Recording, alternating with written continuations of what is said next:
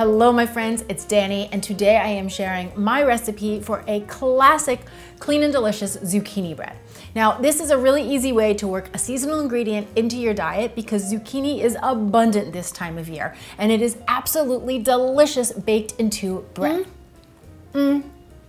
Mm. So the first thing that I'm gonna do is preheat my oven to 350 degrees Fahrenheit.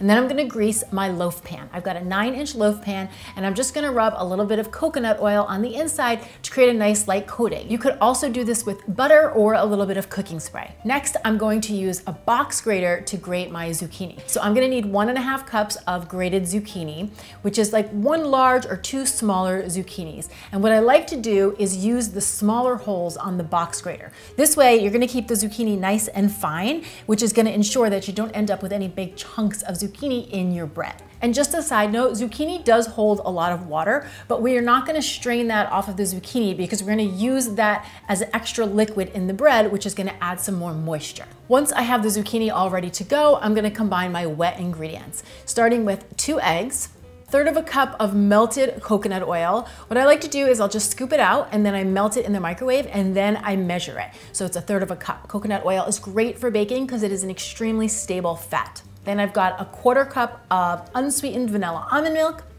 and one teaspoon of vanilla extract. Gently whisk that all together. You just wanna mix until you've got all of those ingredients combined.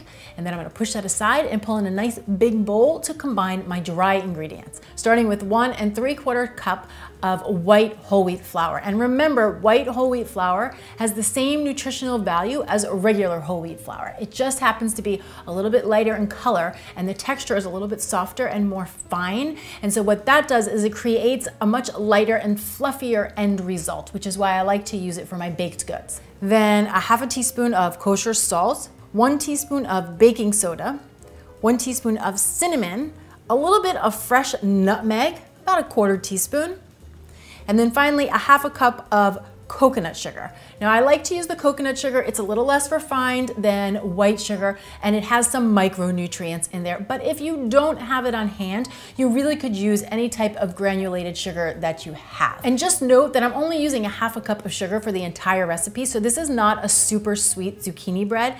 It's perfectly sweet in my opinion. But if you want it to be a little sweeter, you could add an extra quarter cup of sugar or an extra quarter cup of honey or leave the sugar as is and stir in some raisins or some chocolate chips. Then I'll just gently toss all of the dry ingredients together, make sure that they're mixed really well. And then I'm gonna pour the wet ingredients into the dry ingredients and gently mix this until it's just combined. You really don't wanna over mix it, so as soon as you see everything come together, it's ready to roll. And then my final step is to add that shredded zucchini into the bowl and half a cup of chopped up walnuts. And again, gently stir that together. Pro tip, when buying walnuts at the grocery store, look for walnut pieces or pre-chopped walnuts. They are less expensive than the whole walnut halves, and when you're using them in recipes like this, it saves you an extra step because you don't need to chop them up yourself. Once I've got my batter ready to roll, I'm gonna transfer it into my greased loaf pan.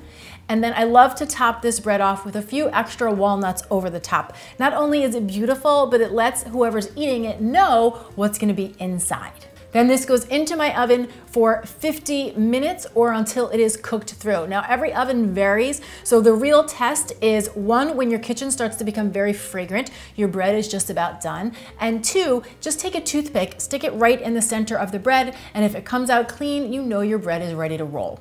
From here, you wanna let the bread cool completely, and then what I like to do is just loosen up the sides, pop it out of the bread, and slice and enjoy.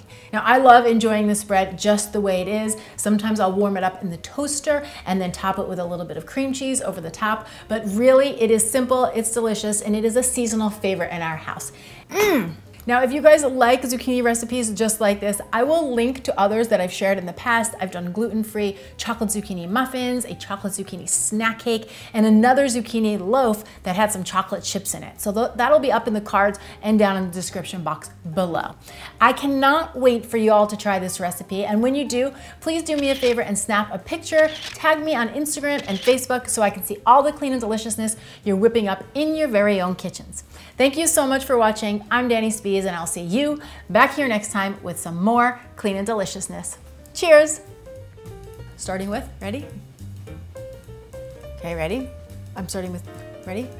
Okay, ready? I'll just say, all right, let's do this. Ready? One, ready? Otherwise, ready?